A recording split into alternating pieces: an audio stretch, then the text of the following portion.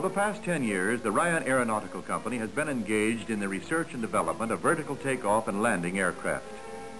This effort reached the flight test stage in 1955 upon completion of the X-13 airplanes built as VTOL research airplanes for the U.S. Air Force.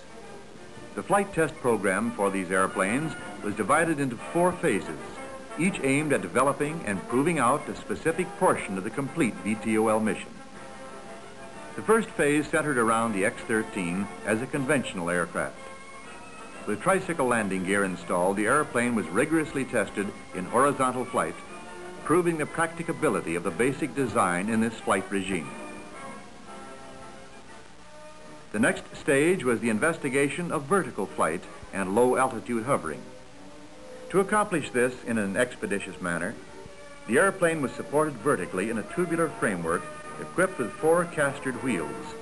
The pilot's seat was installed to rotate forward 45 degrees providing improved comfort and visibility in this attitude. After only a few flights, the pilot was able to demonstrate excellent control and maneuverability. This series of coordinated maneuvers amply demonstrates these capabilities.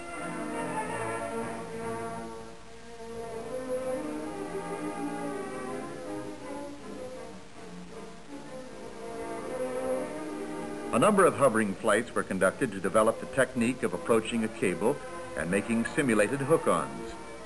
Even on the first attempt, the pilot had no difficulty in performing this maneuver.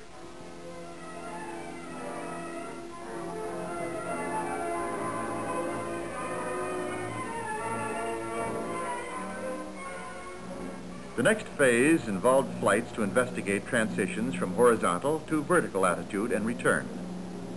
First complete transition was accomplished on November 28, 1956. During the latter part of this phase, several flights were made to develop the techniques to be used in letdown and approach to the ground service trailer. Shown here is a complete operation of this type. The airplane makes a conventional takeoff from the runway at Edwards Air Force Base, climbs to the altitude at which transition will be initiated, and accomplishes the transition from horizontal to vertical flight.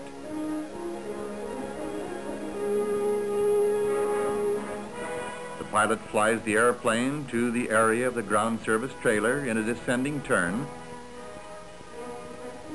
and maneuvers in close proximity to the trailer, simulating the actual landing maneuver which will be accomplished in the final phase of the program.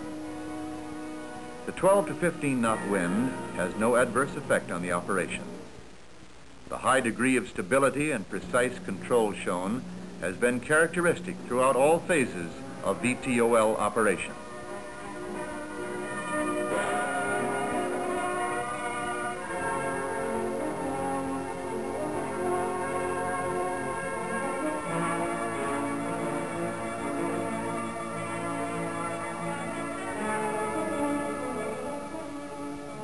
After completing the simulated landing maneuver, the airplane backs away from the trailer, turns,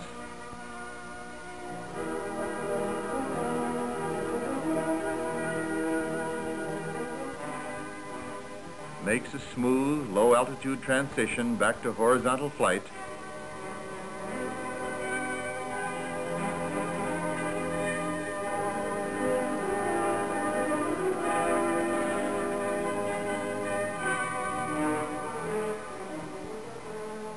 lands in the conventional manner.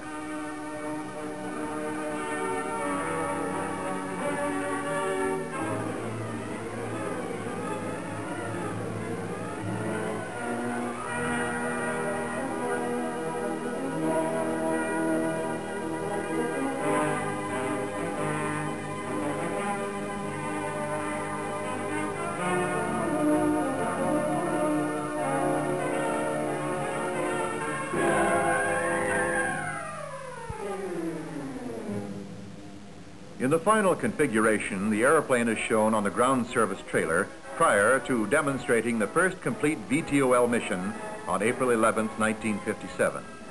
The engine is started and the trailer raised to the vertical.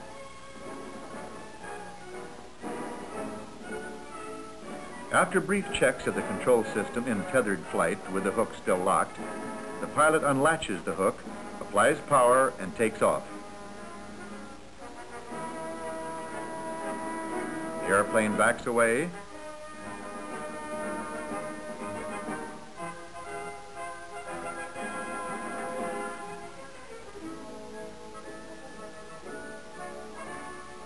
Turns and makes a smooth transition to horizontal flight at low altitude.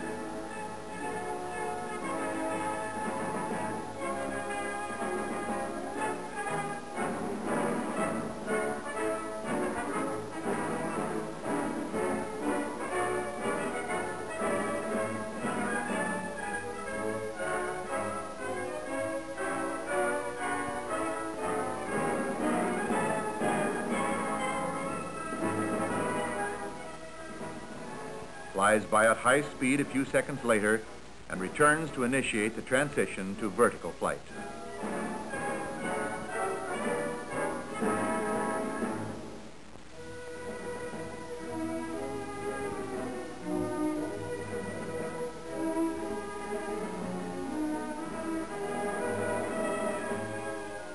The ease with which the transition to and from horizontal is accomplished graphically demonstrates the efficient performance of the control systems.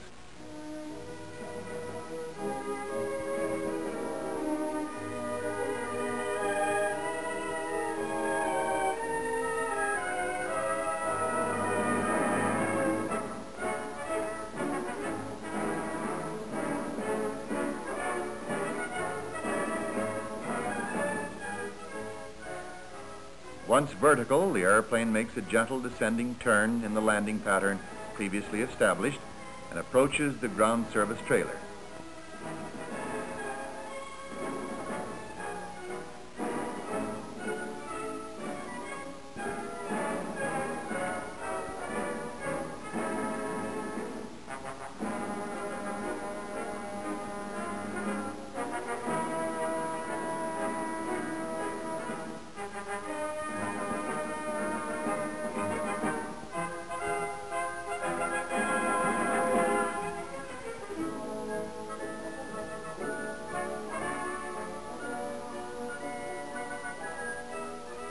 Although a landing signal officer is used on this first hook-on flight, subsequent landings have been made without any help from a signal officer. Adequate visibility is available to permit the pilot to judge his position with respect to the cable by using a pole mounted on the trailer as a reference.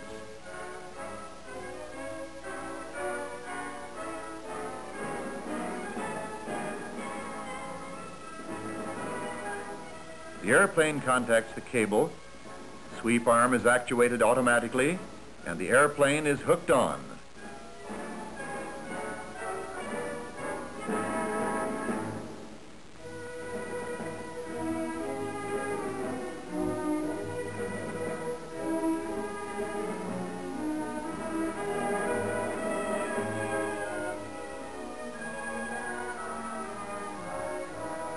The airplane is lowered to the horizontal and the mission is completed.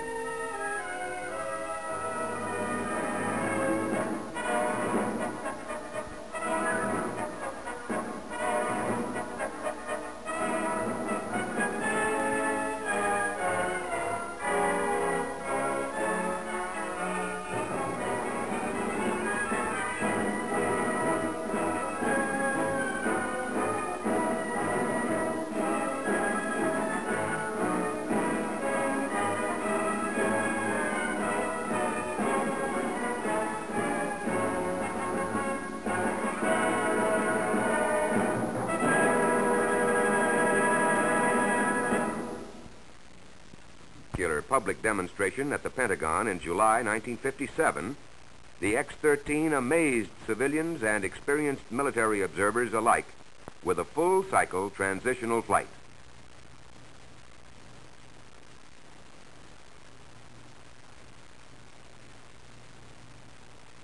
Another.